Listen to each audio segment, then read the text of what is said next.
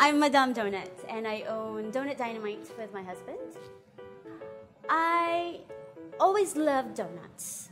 My very first job was actually at Dunkin' Donuts when I was 15. I did not think I was going to be making donuts for the rest of my life after that. When I decided to start a donut business, I thought we'll make brioche style donuts. Brioche is pretty much in the same family as croissants, which was my first baking project. It's actually called the rich man's bread in the pastry world. It's an enriched dough. It has a lot more eggs and butter than any other dough out there. It's also probably one of the more complicated doughs to make. It's very important that your main ingredient, the dough, is really, really good.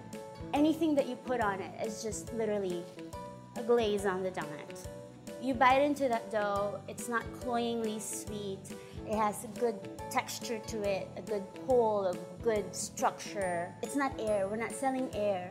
It's not poofed up dough that when you pinch, there's nothing to it. That's why they're cheap.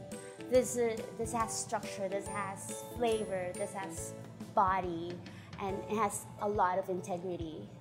We make everything from scratch from the dough to our toppings. I even make my own handmade sprinkles because I don't like the waxy texture of most sprinkles that you get out there. I wanted it to be really as natural as can be. They're artisanal donuts, specialty donuts, you can call it whatever, gourmet donuts. But to me, it's really just a creative expression of myself.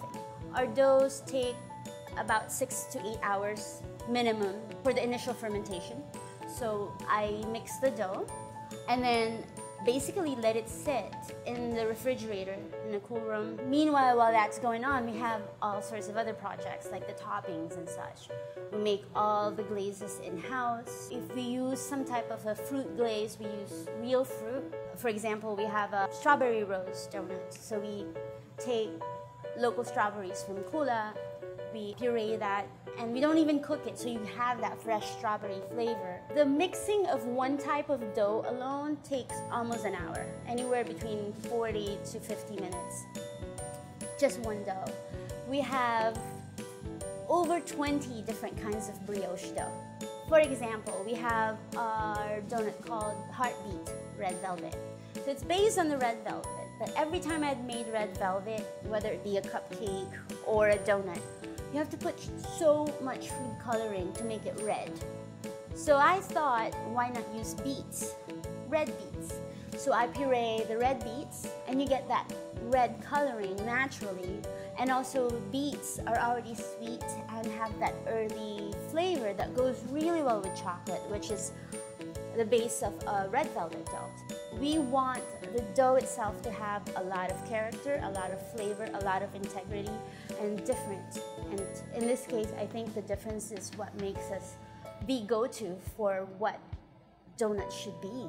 We, we're creating donuts like nobody's ever had. It sounds corny, but I look at the donut as my canvas and I express my creativity through it. Express my story, even my life story on a donut.